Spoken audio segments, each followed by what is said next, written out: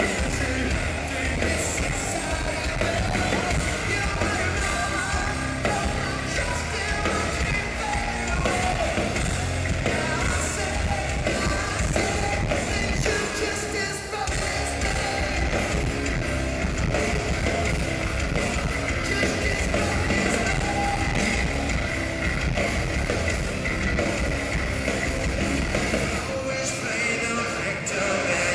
just can't decide.